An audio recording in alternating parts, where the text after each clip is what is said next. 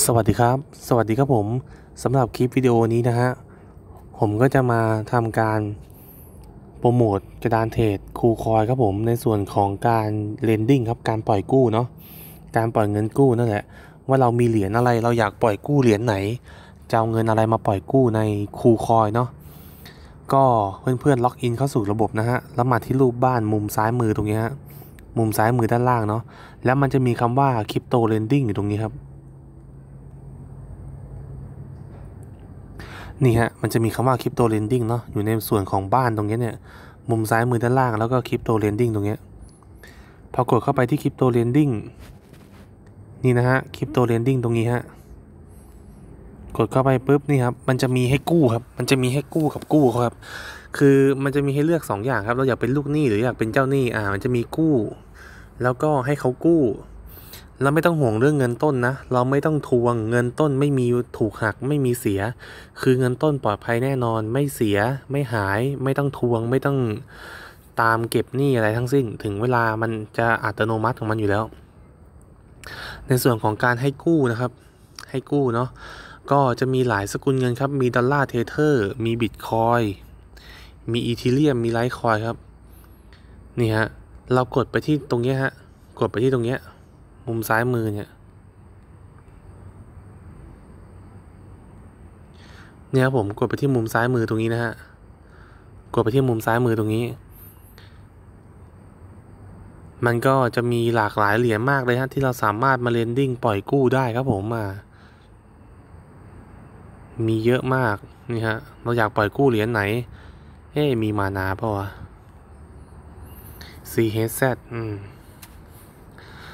เราสามารถมาปล่อยกู้ ทีนี้ ในส่วนของอัตรารายวันเนี่ย มันก็จะเป็นอัตราดอกเบี้ยก็คือปล่อยปล่อยกู้เจ็ดวัน อันนี้จะเป็นวันกำหนดชำระหนี้ปล่อยเขากู้เจ็ดวันอันนี้จะเป็นอัตราดอกเบี้ยครับผมนี่ครับอันนี้ดอกเบี้ยตรงนี้เป็นดอกเบี้ยแล้วก็จะมีแบบปล่อยกู้รายวันกับปล่อยกู้รายปีอ่า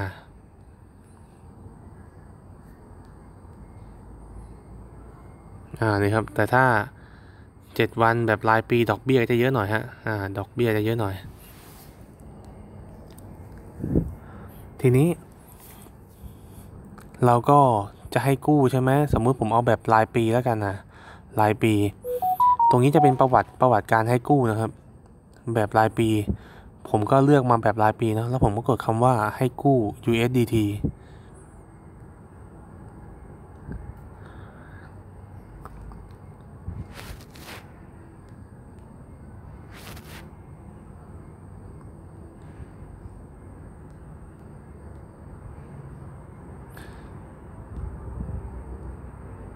กดมาที่ข้างล่างนี่นะฮะคำว่าให้กู้นะครับ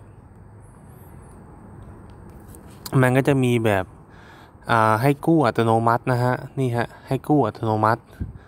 แล้วก็การแบบให้กู้แบบแมนนวลนะฮะ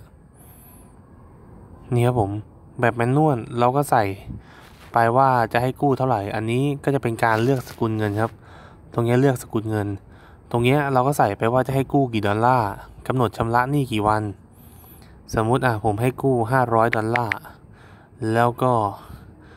สกุลเงินตรงนี้ ผมก็เลือกเป็น เนี่ย สกุลเงินตรงนี้เลือกตรงนี้เนาะ แล้วก็ให้กู้เท่าไหร่ ผมให้กู้ห้าร้อยดอลลาร์ แล้วก็กี่วันก็เดี๋ยวกำหนดไป อ่า ให้กู้ยี่แปดวัน โอเค ส่วนตรงนี้เราจะเป็นคนกำหนดอัตราดอกเบี้ยครับนี่ฮะ อันนี้เป็นกำหนดอัตราดอกเบี้ย เนี่ยผม แล้วเราก็กำหนดอัตราดอกเบี้ยเสร็จ เราก็สามารถกดให้กู้ได้เลยครับ ทีนี้มันจะมี2 2ที่นะที่เรามีเงินอยู่ ก็คือจะมีในส่วนของอาบัญชีซื้อขายกับบัญชีหลัก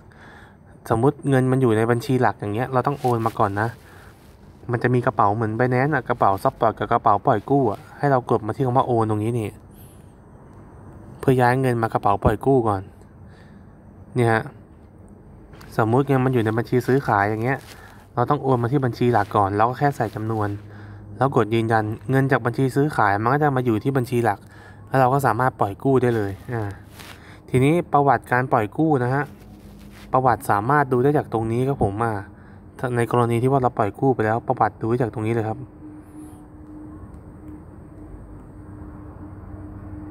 นี่ฮะมันก็จะมีบอกครับ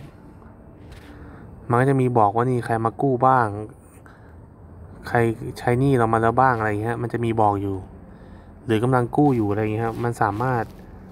มาดูได้จากประวัติตรงนี้ครับ โอเค